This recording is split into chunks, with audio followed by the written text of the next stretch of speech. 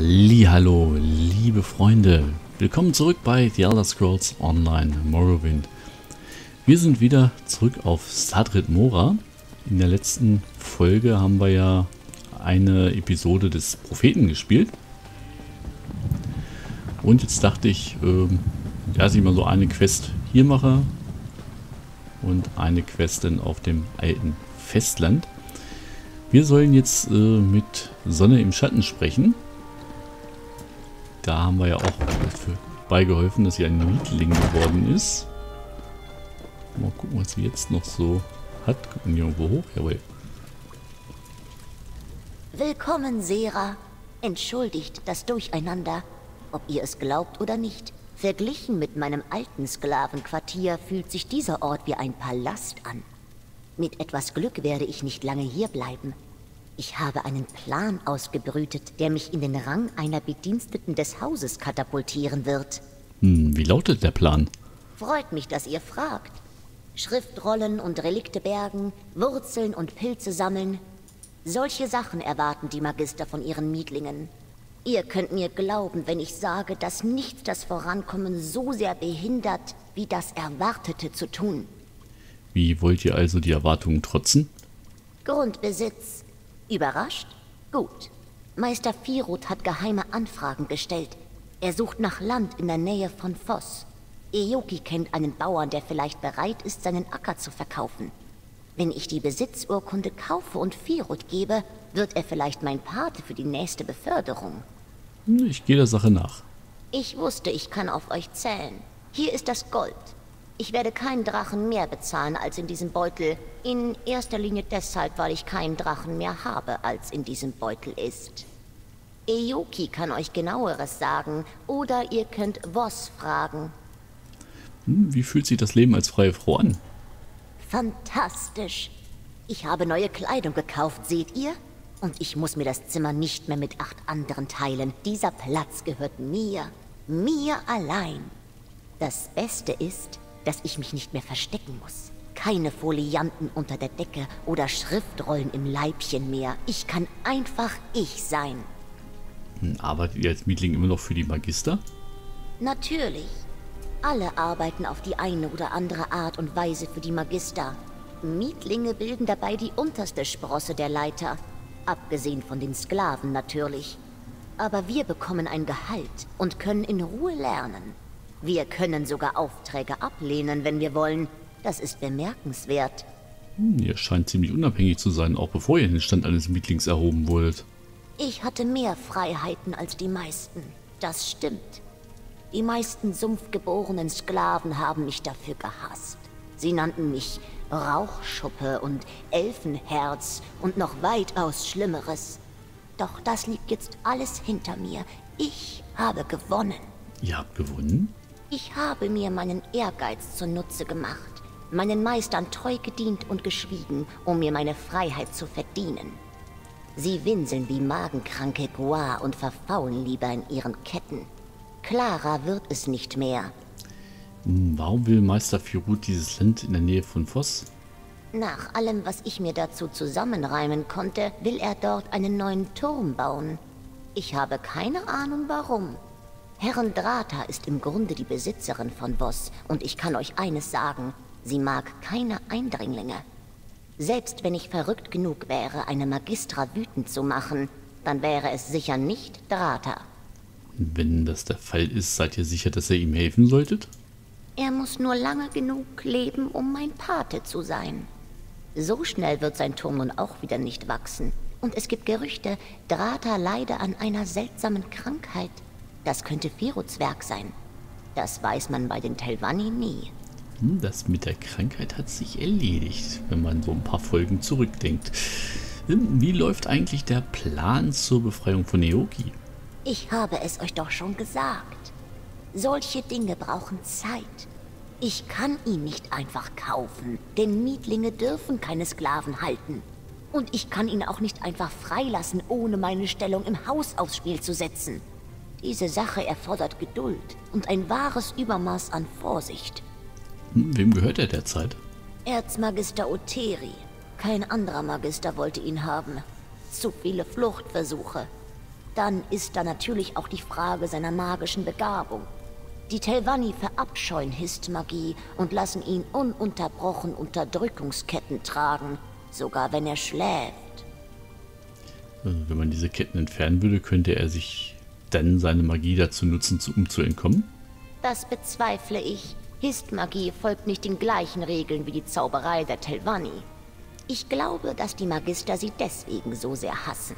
Ich kann es zwar nicht mit Gewissheit sagen, aber ich bezweifle, dass Eyoki etwas in seinem Arsenal an Zaubern hat, was ihn aus Sadrid Mora herausbringen könnte. Okay, wie er meint. Ja, dann wollen wir mal gucken. Haben wir hier noch ein Bücherregal? Nichts von lernen. Noch irgendwas, was wir hier untersuchen können. Ah, klauen wollen wir nicht.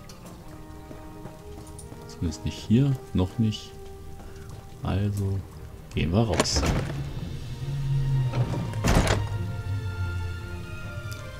Jetzt sollen wir erstmal mit Eoki sprechen. Wo hält er sich gerade auf? Eoki. Okay. Da laufen wir jetzt mal eben hin.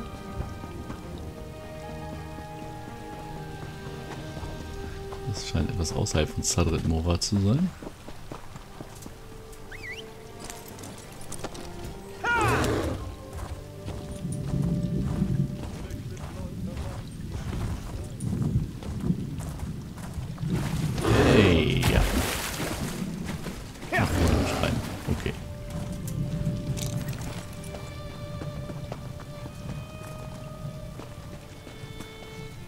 Habe wenig Zeit zum Reden. Ja, ich auch. Ioki, wo bist du denn? Da ist er ja. Ich grüße euch. Wir dürfen uns nicht lange unterhalten. Die Aufseher werden schnell neugierig und argwöhnisch. Sonne im Schatten meinte, ihr kennt vielleicht einen Bauern in der Nähe von Voss, der gewillt ist, sein Land zu verkaufen. So ist das. Uteri hatte mich eine Weile auf diese Höfe verbannt. Ich habe 30 Tage im Dörrschrank verbracht und vieles mitgehört. Ein Salzreisbauer namens Barus Rendo war missmutig wie ein krankes Krokodil. Seine Frau nannte Voss einen hinterwäldlerischen Saustall. Er würde verkaufen. Warum fragt ihr? Sonnenschatten hat mir Gold gegeben, um etwas Land für sie zu kaufen. Sie hat euch Gold gegeben? Ich dachte, mein Herz meinte zu mir, sie hätte Geld zusammengekratzt, um meine Freiheit zu erkaufen. Sie trachtet wahrscheinlich danach, diese Summe durch geschicktes Handeln noch zu mehren. Ich vertraue auf ihr Urteil, auch wenn ich es nicht ganz verstehe. Viel Glück, mein Freund. Ja, ich verstehe es auch nicht, aber nun gut. Ich denke wir müssen jetzt Richtung Norden. Jawohl. Wo war der Wegschrein? Da ist der Wegschrein.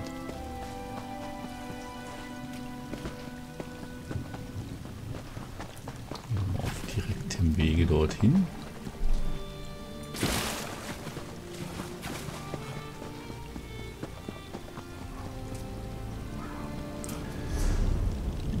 So, auf nach Voss beziehungsweise Telmora.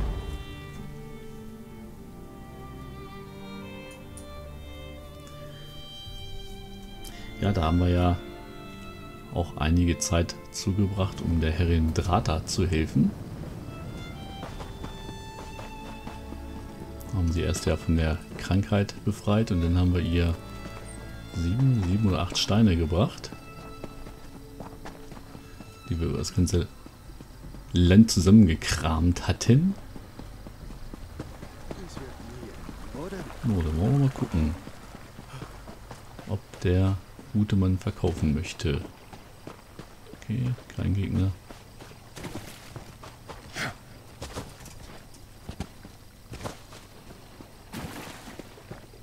Auch nicht. Ah, da ist er ja. Kollege. Noch ein Abenteurer. Falls ihr auf der Suche nach Salzreis hergekommen seid, dürftet ihr auf dem Markt mehr Glück haben. Eine magere Ernte, müsst ihr wissen. Und uns fehlt es derzeit etwas an Hilfe. Mein Sohn Satan wird vermisst, wisst ihr. Ihr seid nicht zufällig über ihn gestolpert? Hm, Ich fürchte nicht. Ich bin eigentlich gekommen, um euch zu fragen, ob ihr Interesse daran hättet, euren Hof zu verkaufen. Und ob ich das habe? Ich habe zwar mein Leben als Finanzmann in Balmora aufgegeben, um das einfache Leben zu genießen. Ich liebe es hier, aber meine Frau, sie ringt immer noch mit dem Landleben. Wir würden die Chance nutzen, um wegzugehen. Das könnt ihr mir glauben. Aber nicht bevor wir unseren Jungen gefunden haben. Hm, wenn ich euren Sohn finde, verkauft ihr dann euren Acker? Ja, auf der Stelle. Wie ich schon sagte, Ninave hat ihre Sachen ohnehin schon so gut wie gepackt. Wenn ihr unseren Jungen zurückbringt, verkaufen wir. Satan sucht immer nach Nervenkitzel. Wahrscheinlich hat er sich in dieser dädrischen Ruine von Esutanamus verlaufen. Ihr findet sie etwas östlich von hier. Hm, was könnt ihr mir über diese dädrische Ruine erzählen? Man nennt sie Esutanamus. Satan hat ein Interesse an dädrischer Geschichte entwickelt. Reine Zeitverschwendung, wenn ihr mich fragt. Aber sein Enthusiasmus ist wirklich bewundernswert. Wir sprachen ein paar Tage vor seinem Verschwinden über den Schrein. Anscheinend wurde dort dieses Monster Molak Baal verehrt. Habt ihr dort irgendwelche Dädra gesehen? Ich gehe nie auch nur in die Nähe. Wir haben hier schon genug Ärger. Magere Ernten, ungeschickte Telvanni, Zaubermeister, meine Frau, die auf mir rumhackt. Nein, ich werde nicht auch noch eine Horde aus dem Haus des Chaos auf mich herabbeschwören. Na, in Ordnung. Ich werde mal gucken, was ich, Ich tun kann. danke euch, Sergio.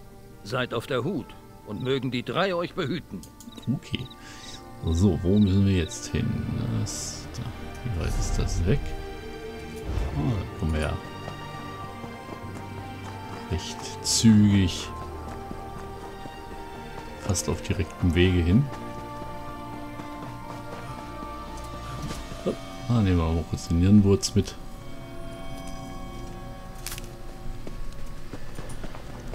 Müssen wir wieder irgendwann ein bisschen Tränke köcheln gehen.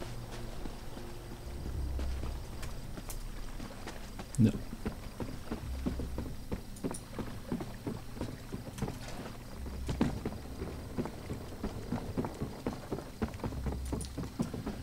Ja, hier waren wir doch schon mal.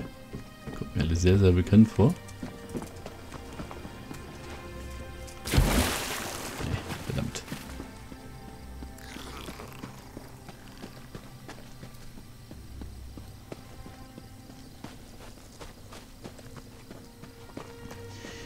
Ja, wie weit ist denn der Weg noch? Ach, da oben. Das sieht doch schon fast nach einer dädrischen Ruine aus.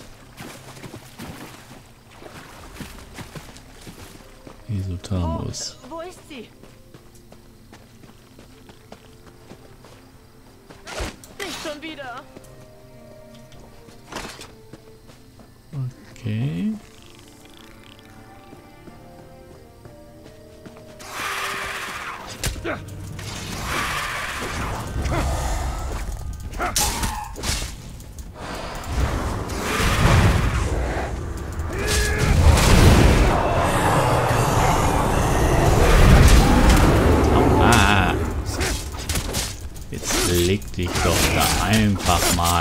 Hin. So, was willst Noch einer.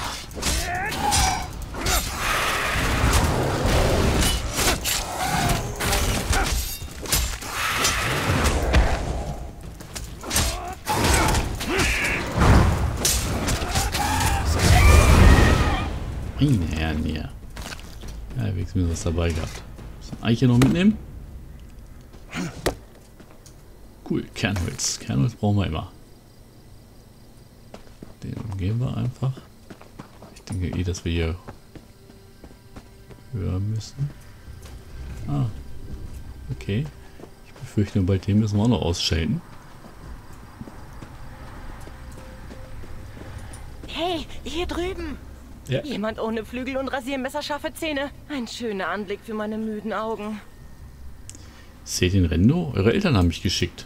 Das bin ich, Satan Rendo, der erstaunliche Entdecker. Meine Eltern machen sich Sorgen? Ganz ihre Art. Meine Mutter traut mir ja kaum zu, einen Besen zu halten, geschweige denn eine Ruine zu erforschen. Natürlich könnte die Lage besser sein. Ich habe die Aufmerksamkeit einiger Zwielichtschwingen auf mich gezogen. Hm, was meint ihr mit Aufmerksamkeit erregt? Jedes Mal, wenn ich zu entkommen versuche, stoßen sie auf mich herab. Aber nicht, um mich zu verletzen, wisst ihr? Sie fahren mir nur mit ihren Krallen durchs Haar und stoßen mich mit einem Gurren in die Ruinen zurück. Ich glaube, sie betrachten mich als eine Art Haustier. Ich werde sie ablenken. Ihr macht euch aus dem Staub. Eine tollkühne Flucht. Ihr werdet sie erschlagen müssen, was? Eine Schande. Natürlich habe ich aber auch gesehen, wie sie einen Aschländer in Stücke gerissen haben, der hier vorbeikam. Also vergieße ich deswegen keine Träne. Ich mache mich aus dem Staub. Wir können uns westlich von hier in Richtung Voss treffen. Seid auf der Hut. Macht euch bereit, ich werde euch hier ablenken. So.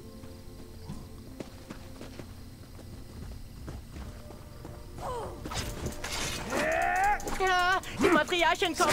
Seid auf der Hut. Ich laufe schnurstracks zurück nach Voss.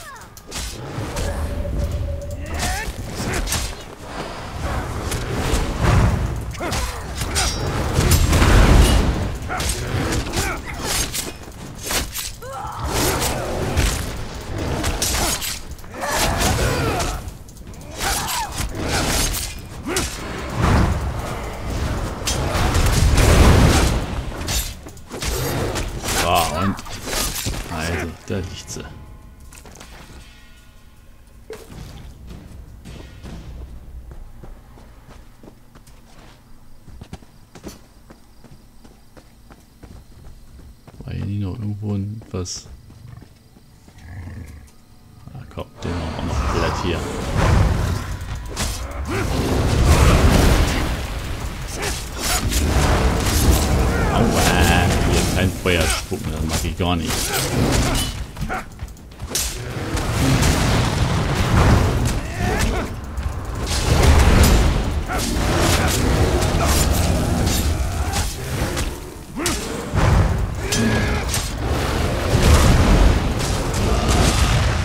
Scheiße, ist der stark. Ich sollte vielleicht mal gehen.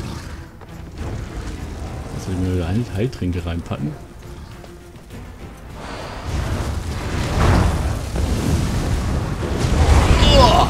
Der Schwede.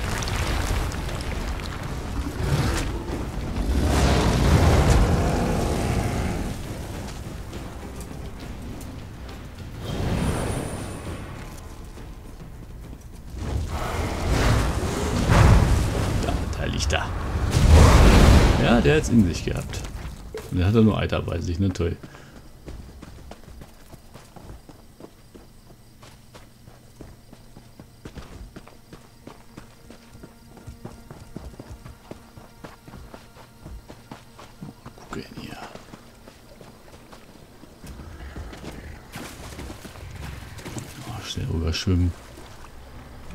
Was haben wir hier denn alles an? Was haben wir hier? Zinte? Ups, hier haben auch noch was. Nachtschatten.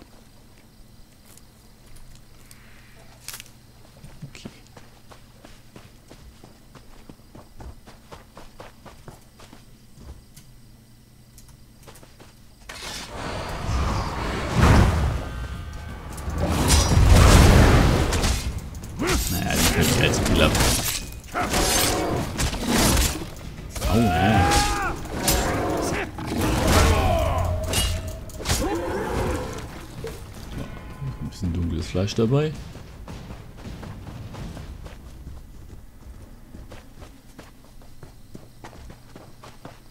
Na, wo bist du denn? Ihr seid mir gefolgt? Ihr seid ja fast so schlimm wie Mutter. Ich bin kein Kind mehr. Glaubt mir, ich würde lieber die Ernte einbringen. Aber ihr wisst ja, wie Mutter ist. Sie lässt mir keinen Augenblick Ruhe. Gut, ich muss nur mal verschnaufen. Kinder. Nun? Mhm. Genau. Schleicht euch. Da seid ihr ja. Tut mir leid, dass ich euch so überprüfe. Ich wusste ja, dass ihr die Lage im Griff habt. Aber Ninave hat mich regelrecht rausgeworfen. Und sie meinte, ich soll nicht ohne Satan wiederkommen. Ich bin froh, dass ich nicht mit leeren Händen zurück muss. Hm, er hat die Aufmerksamkeit einiger Zwielichtschwingen geweckt. Die Aufmerksamkeit geweckt? Vergesst es. Ich will das gar nicht wissen. Ich werde diesen Ort vermissen, aber Weg weiß, dass ich als Bauer nicht viel tauge. Ich bin nur froh, dass ich euch persönlich danken durfte. Euer Partner Mertis hat mich schon für die Besitzurkunde für dieses Grundstück bezahlt. Mein Partner? Ich habe keinen Partner. Was? Oh, oh je. Der Kerl war sehr überzeugend. Hat mich erwischt, als ich mich gerade auf die Suche nach Seten machen wollte. Er hat nicht viel geredet. Er hat einfach eine mehr als ordentliche Summe Gold gezahlt und sich die Besitzurkunde geschnappt. Nach Abschluss des Geschäfts hat er sich in Richtung Voss davon gemacht. Na warte, den schnapp ich mir.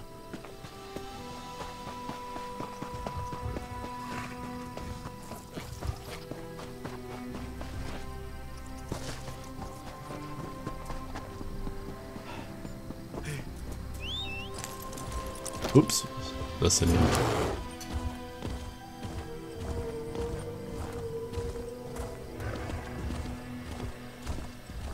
Den kaufe ich mir, den Burschen. Die Besitzurkunde, Herr Gingrisa.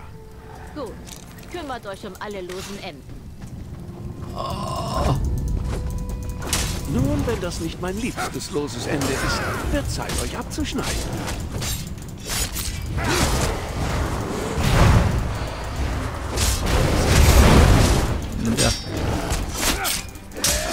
Musste ein wenig früher aufstehen.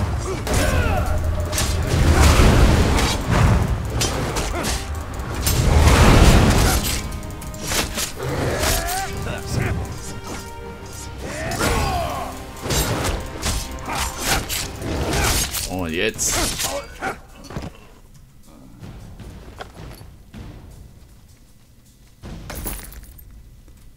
Okay, jetzt haben wir hier.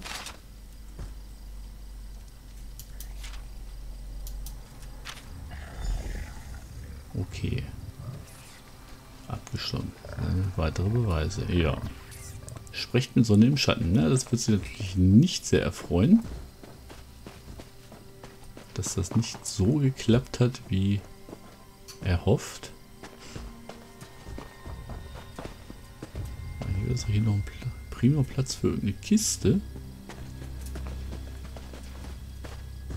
Hätte ich jetzt einfach mal so gesagt. Aber sieht nicht so aus. Hier.